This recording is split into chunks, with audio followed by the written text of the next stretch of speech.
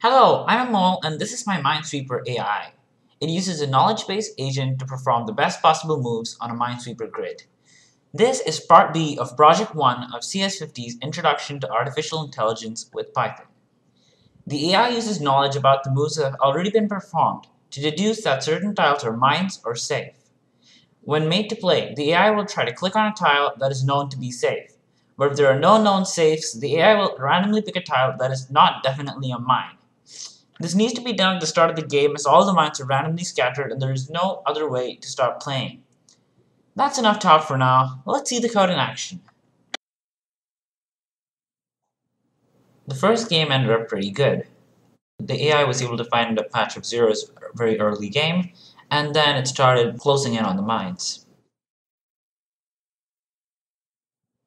It found a uh, tile with four mines next to it, and there were four tiles next to it, so we know that all of those four tiles are mines.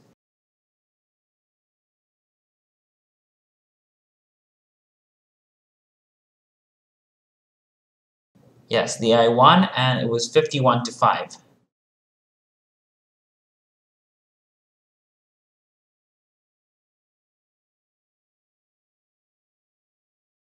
Like, the second game was not that good because there were not that many zeros next to each other.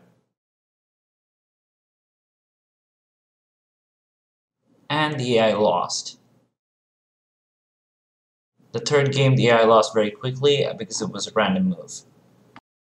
And for the fourth try, the AI did not start off that well. There were a lot of ones, but then it found a huge patch of zeros and then started working its way.